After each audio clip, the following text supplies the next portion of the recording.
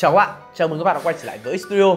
Chuyện những chiếc điện thoại cháy nổ hay là cái tình trạng chất lượng sản phẩm kém đã không còn một điều gì quá xa lạ ở thời điểm hiện tại. Và iPhone lẫn iPad là những mẫu máy tính bảng hay là điện thoại nổi bật và được mua nhiều nhất ở thời hiện tại cũng không phải ngoại lệ. Tuy nhiên thì điều đáng nói ở thời hiện tại đó chính là đáng lẽ ra với sự tiến bộ trong dây chuyền sản xuất thì các nhà sản xuất đang ngày càng phải kiểm định tốt hơn về phần chất lượng về mặt bằng chung của sản phẩm mình. Nhưng mà thời điểm gần đây thì một loạt báo cáo gần đây đã rất bất lợi về phía phần chất lượng đến từ iPhone lẫn iPad, như là dễ cháy nổ hay là chất lượng xây dựng quá kém khiến cho người dùng ta ít nhiều phải đặt ra câu hỏi điều gì đang xảy ra với Apple vậy? Và sau video này nếu các bạn đang quan tâm đến những dòng sản phẩm iPhone, iPad thì các bạn hoàn toàn có thể click trực tiếp đường link ở phía phần mô tả để đến với cửa hàng Selfnet nhé. Tại đây thì rất nhiều mẫu máy tính bảng hay là điện thoại để anh em có thể lựa chọn. Đặc biệt đối với những dòng sản phẩm Apple thì luôn có một mức giá hấp dẫn cùng với chất lượng rất là tuyệt vời để anh em có thể lựa chọn nhé.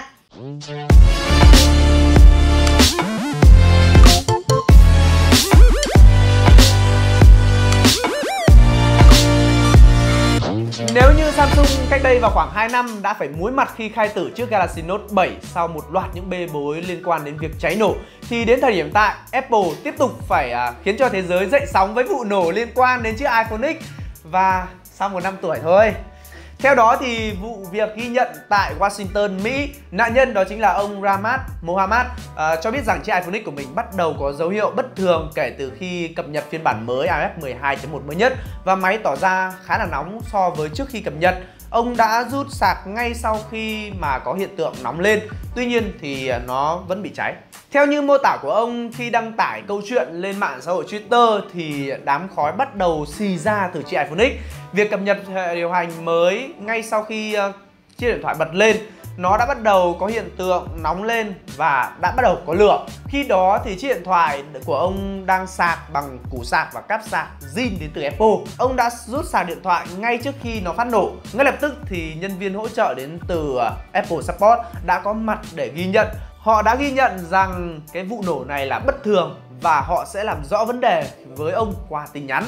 Ngay sau khi Apple Support phản hồi với Mohammad thì một vài người sử dụng iPhone X khác cũng phàn nàn về chiếc điện thoại của mình quá nóng sau khi cập nhật lên phiên bản iOS 12.1. Apple đề nghị người này phải gửi tin nhắn direct messenger để có thể trao đổi riêng. Táo khuyết hiện tại thì đã có một cái số phản hồi cho rằng chiếc điện thoại của iPhone X nóng lên sau khi cập nhật phần mềm có vẻ như là một vài cái trường hợp hán hữu mà thôi. Trong khi đó thì nhiều chuyên gia khuyến cáo người dùng nên sử dụng sạc cáp zin đến từ chính hãng nếu không muốn Apple có những lý do để đổi lỗi cho họ ở trong những cái trường hợp iPhone gặp mà cái vấn đề đó.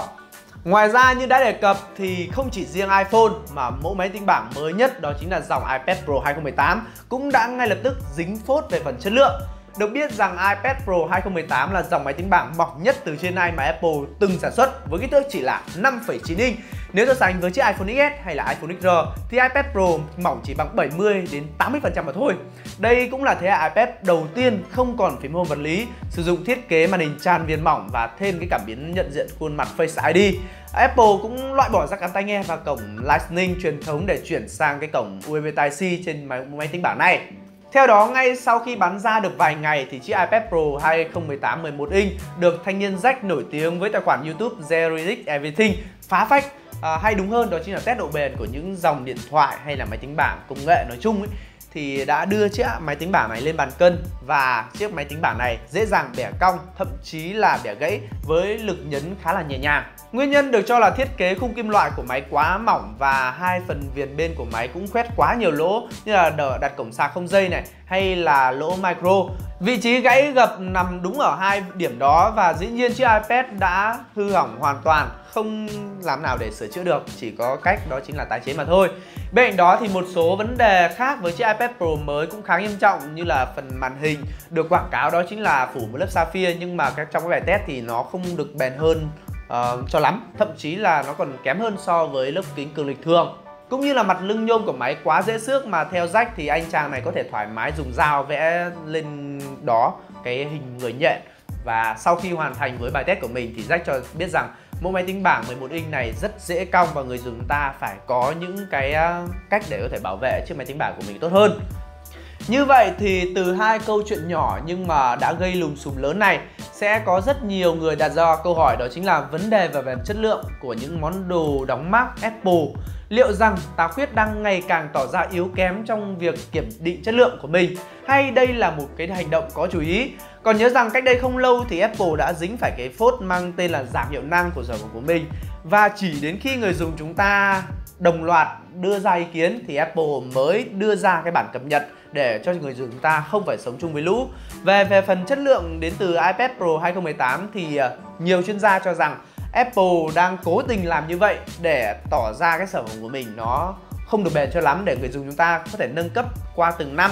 Vì các bạn có thể thấy rằng những dòng máy tính bảng iPad từ trước đến nay thì nó quá là bền Thậm chí thì bạn bè của mình có những người vẫn đang sử dụng những chiếc iPad 3, iPad 4, iPad mini 1, mini 2 và nó quá trời là bền. Người dùng không muốn nâng cấp lên sản phẩm mới và cái nhận định như vừa rồi ấy, thì hoàn toàn là có cơ sở. Tuy nhiên thì đó cũng chỉ là những cái suy đoán tạm thời và cũng có thể coi rằng nếu mà Apple xem được video này thì họ đã nhận ra những cái điểm yếu của mình Họ sẽ cải tiến trong những dòng sản phẩm tiếp theo Cũng tương tự như những cái tai tiếng brandgate từng bám theo những chiếc iPhone OS hay là iPhone 6 cách đây vài năm. Nhìn chung thì à, có thể thấy rằng Apple vẫn là một thương hiệu công nghệ có tầm ảnh hưởng rất lớn, thậm chí là lớn nhất với thế giới hiện tại. Và chúng ta có hàng ngàn, hàng tỷ cái lý do để mua những dòng sản phẩm của họ từ những chiếc iPad, iPhone rồi thì uh, iMac, máy tính bảng rồi vân vân rất nhiều thứ. Dĩ nhiên thì với một thực tế đó chính là giá bán của những mẫu máy tính đóng mác này thì ngày càng tăng và những nghi vấn xoay quanh những cái về phần chất lượng, phần cứng cũng như là phần mềm của sản phẩm thì cũng ít nhiều gây cho người dùng ta một chút gì đấy nó phải phân vân khi lựa chọn sản phẩm của mình.